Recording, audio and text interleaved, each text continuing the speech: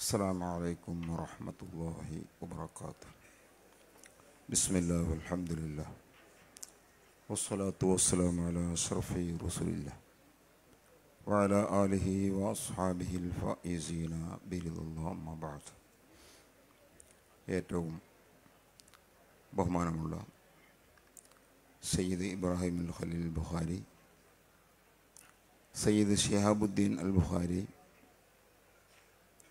വിശിഷ്ട അതിഥിയായി ഇവിടെ എത്തിയിട്ടുള്ള ബഹുമാനപ്പെട്ട മിനിസ്റ്റർ കടന്നപ്പള്ളി രാമേന്ദ്രൻ സാർ മറ്റു പണ്ഡിതന്മാരെ എസ് എസ് എഫിന്റെ നേതാക്കളെ സഹോദരങ്ങളെ സുഹൃത്തുക്കളെ.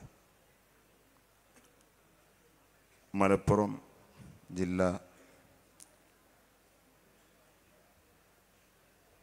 വെസ്റ്റിന്റെ സാഹിത്യോത്സവ പരിപാടി സമാപിച്ചുകൊണ്ടുള്ള ഈ സമ്മേളനത്തിൽ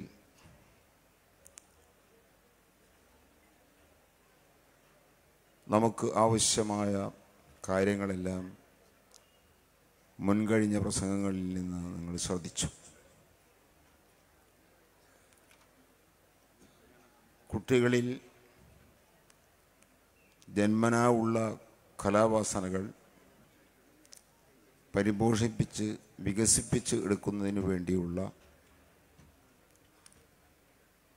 മഹത്തായ ഒരു കാര്യമാണ് ഈ സാഹിത്യോത്സവം. ജന്മസിദ്ധിയായി പല കഴിവുകളും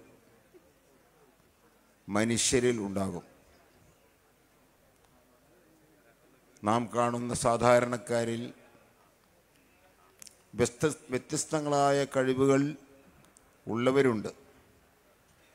പക്ഷേ അത് പുറത്തു കൊണ്ടുവരാനും വികസിപ്പിച്ചെടുക്കാനും അവസരം അവർക്കുണ്ടായില്ല. ആ അവസരം നാം സൃഷ്ടിച്ചു കൊടുക്കുകയാണ്. അതിലൂടെ ഈ കുരുന്നുകൾ വളർന്നു വരുമ്പോൾ അതിന്റെ ഗുണങ്ങളും ഫലങ്ങളും നമുക്ക് നമ്മുടെ നാട്ടിന് രാജ്യത്തിന് ഉണ്ടാകുമെന്ന് തീർച്ചയാണ്. മനുഷ്യൻ എന്തിന്റെയൊക്കെയോ പേരിൽ നേരായ ചൊവ്വായ വഴിയിൽ നിന്ന് തെന്നി മനുഷ്യൻ മനുഷ്യനായി ജീവിക്കാൻ പോലും പഠിക്കാത്ത രീതിയിൽ അതപ്പതിച്ചുകൊണ്ടിരിക്കുന്നു എന്നത് നാം കാണുകയാണ്. ഓരോ ദിവസങ്ങളിലും നാം പത്രത്തിലൂടെ വായിക്കുന്നതും അല്ലെങ്കിൽ നാം ദർശിക്കുന്നതും എല്ലാം നമുക്കറിയാം. അതുകൊണ്ട് നല്ലൊരു വ്യൂഹം ഇവിടെ പടുത്തുയർത്താൻ നമുക്ക് കഴിയണം. അതിന് ഉതകുന്നതാണ് ഇതുപോലെയുള്ള പരിപാടികളെന്ന് ഈ സന്ദേഹമില്ല.